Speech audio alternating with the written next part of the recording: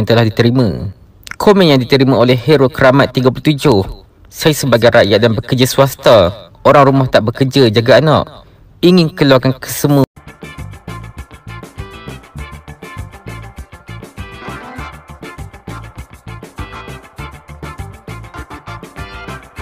hati dan harapan pecarum terhadap KWSP 2.0. Assalamualaikum dan salam sejahtera buat penonton kisah semasa TV. Admin menerima suara dan harapan para pecarum terhadap pengeluaran khas KWSP 2.0. Untuk pengetahuan semua buat masa sekarang kita cuma berbaki 6 hari sahaja lagi untuk mengisi borang aduan tuntutan KWSP 2.0 yang telah dilancarkan oleh saudara Azmi Bugis.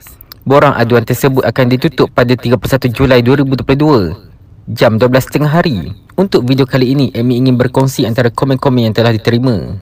Komen yang diterima oleh Hero Keramat 37. Saya sebagai rakyat dan bekerja swasta, orang rumah tak bekerja, jaga anak.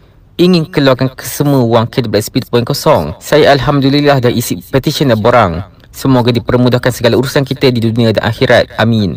Komen daripada Yusli Yusof. Saya dapat keluar 30% daripada jumlah simpanan pun dah Alhamdulillah. Anak belajar universiti. Wife tak kerja.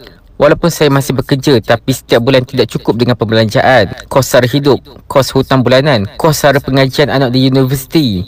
Anak yang bersekolah saya dah isi borang harap dapat diluluskan oleh PM.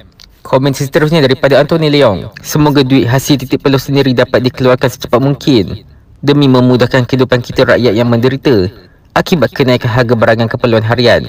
Salam sejahtera para rakyat Malaysia sekeluarga. Seterusnya daripada Yusuf Yusuf bin Ahmad saya sokong 100% atas pengeluaran ini. Sebab semua rakyat tengah terdesak sekarang ini.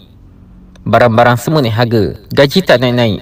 Duduk 1200 sahaja dari tahun 2019 lagi. Kemudian daripada Teddy Bird semakin lama kerajaan membiarkan rakyat dan mengabaikan permintaan rakyat mungkin akan lebih banyak kes-kes jenayah yang akan berlaku. Daripada Zakiyah Nasaruddin Suri rumah ibu tunggal dan rakyat yang sudah tidak bekerja dan tidak lagi mencarum Benarkanlah mereka keluarkan semua wang mereka banyak cara yang mereka boleh kembangkan dengan wang mereka sendiri. Dan daripada Bat Kurau 011 semoga pengeluaran KWSP 2.0 diluluskan.